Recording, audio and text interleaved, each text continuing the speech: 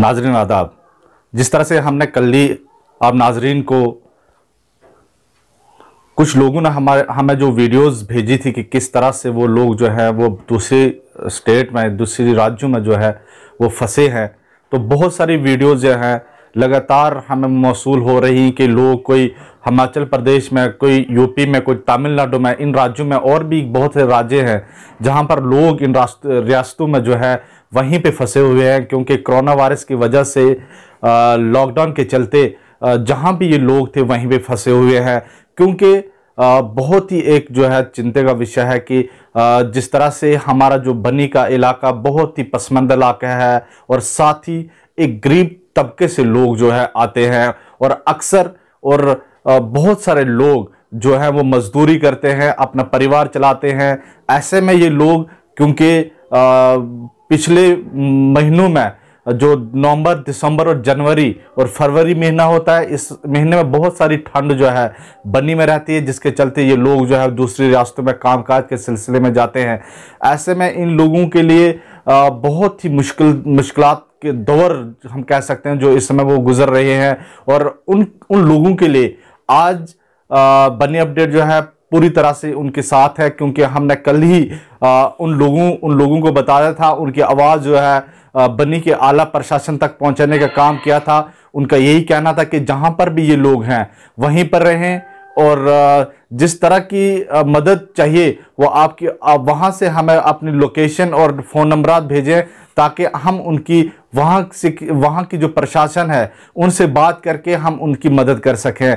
तो बनी अपडेट एक बार फिर से आप लोगों से यही गुजारिश करता है, जिस तरह से आपकी वीडियोस हमें बहुत सारी जो है मौसू हुई है, पहले आप नाजरीन को, इन सब लोगों की, वो तस्वीरें हम, उनकी ज़बानी वो क्या कह रहे हैं, लोग कहाँ कहाँ फंसे हैं, वो हम आप नाजरीन को दिखाते हैं।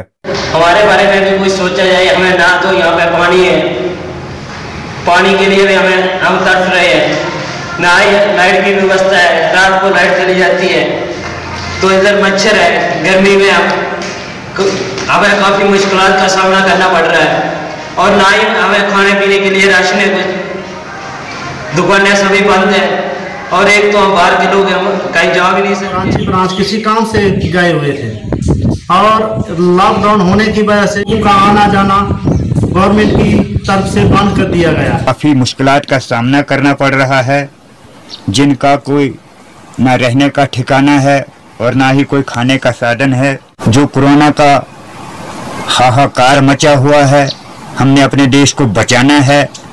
जनता कर्फ्यू का पालन कर रहे हैं। देश को बचाने के लिए आप कुर्बानियाँ दे रहे हैं। मुश्किल से दो चार हैं, अपने घरों से बाहर हैं, फिर भी वो जनता कर्फ्यू का पालन कर रहे हैं।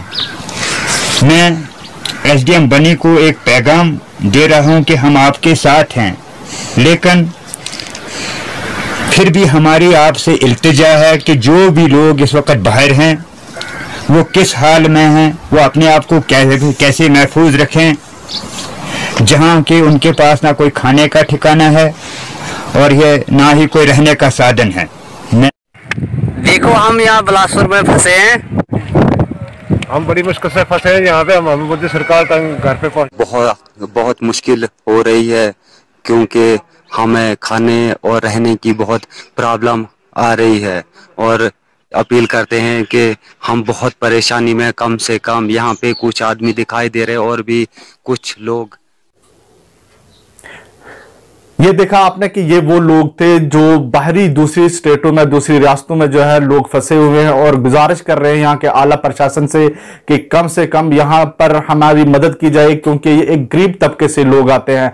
अपना कामकाज के सिलसिले में मजदूरी के सिलसिले में बन्नी से दूसरी रियासतों में जाते हैं। हम आ, हमने आप नाजरीन तक और यहाँ के प्रशासन तक इनकी आवाज़ पहुँचने का काम किया और उम्मीद करते हैं इस रिपोर्ट के बाद ज़रूर इन लोगों की जो है वो मदद की जाए। इसी के साथ दीजिए इजाज़त खुदा हाफिज।